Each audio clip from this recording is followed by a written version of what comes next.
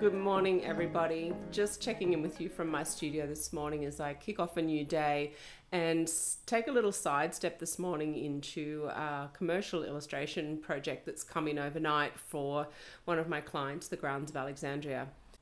Their extraordinary ideas and concepts is something that isn't just a location based thing it's uh, you know an inspiration that trickles right down through everything that they do including their food and drinks menus. So when they have an event, they create a whole new line of extraordinary ideas for food and drinks. And that's where I come in, simply capturing these extraordinary creations of food and drinks to illustrate those uh, for their menus. And it's actually just so much fun.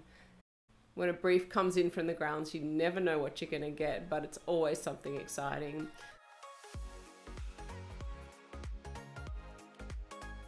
So for me today, I have this new brief in for the grounds, which I'd like to share with you. This brief is also uh, Mexican based, plenty of color, a little bit of fun, certainly a lot of uniqueness. And I'm going to be sharing the journey of these illustrations coming to life with you here. I hope you enjoy.